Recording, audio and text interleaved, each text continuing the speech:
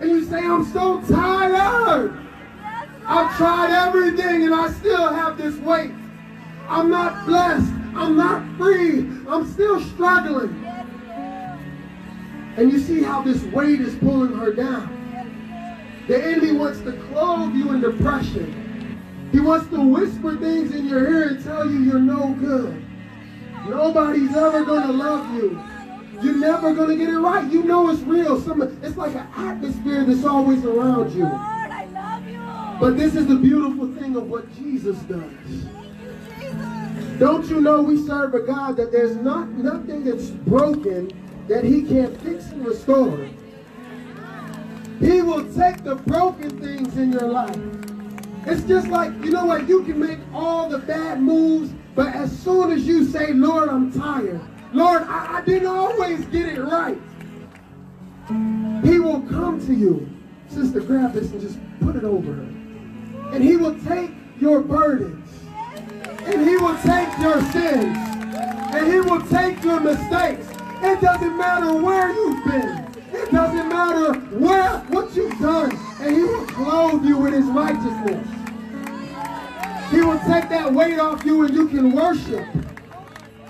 And then he says, I know what the enemy said about you.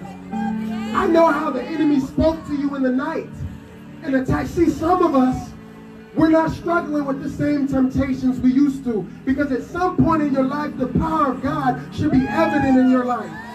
The Bible says in Timothy, they have a form of godliness, but deny the power thereof. So I come and I worship, and I come and I praise, but I struggle with the same things, and that's okay. But sometimes you get to that point where you know no matter what, I'm never going back to the old me. So what the enemy does is he tries to come with that spiritual warfare. I can't get you to sleep around anymore. I can't get you to drink anymore. I can't get you to go to the club anymore. So now I just got to hit you with this heaviness.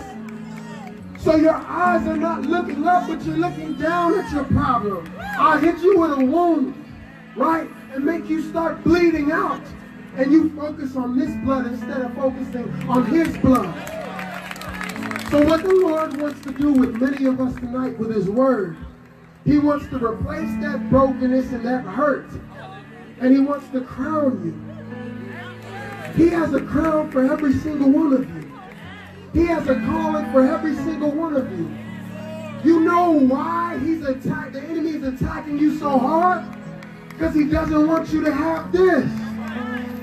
The bigger the battle, the bigger the blessing. The Lord sent me to tell you, sister, specifically, I saw you clear as day. Everything that you've been through, he knows.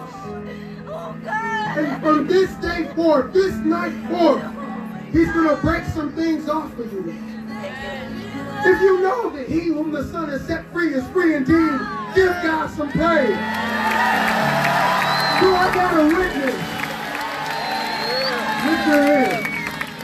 Thank you, Jesus. Thank you, Jesus. This is no show. This is what God showed. In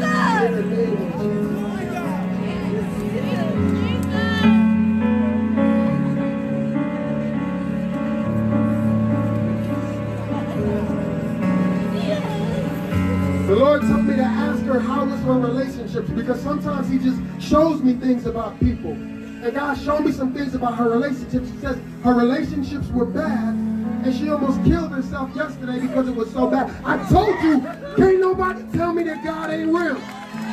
Notice, I asked for one woman to come up. Three came up and God said she's the one. She's the one. We serve a real God. We serve a God that sees you where you are.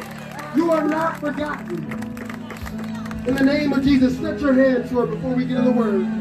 In the name of Jesus, we rebuke every demonic attack and assignment that would come against this sister. Lord, you love her, Lord.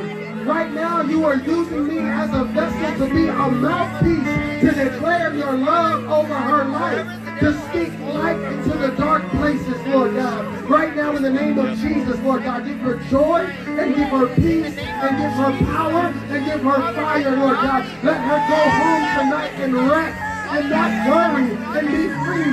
Let her go home tonight and take control of the atmosphere in her home. In the name of Jesus. In the name of Jesus. Praise him like he's already done. is substance. What these men of God are about to release into you is going to be more than anything you could ever give because it's what God has given them. I told Mark Martin when you were standing over there, there was a and the people, there were many people that just wanted their picture and wanted to shake your hand. But there were some people in that line that knew I don't need a picture, I can just get, get that impartation. Just to ask you for it. If I honor the gift, then the gift will automatically, good God, I'm about to preach out here. See, we got a lot of dishonor. We'll honor people Preach it! like Drake. Preach it! What's Drake done for you? Preach it! Come on, Pastor! Beyonce. Preach it! Come on, somebody! Come on, man. Come on! But you got people that have stepped out in faith to make an event like this possible. Many tonight got what was on the inside of you just by shaking your hand. Because what you got, you've been crying out for God to spread it all over America. God, when are they going to listen? When are they going to understand? God I'm about to multiply the anointing on your life.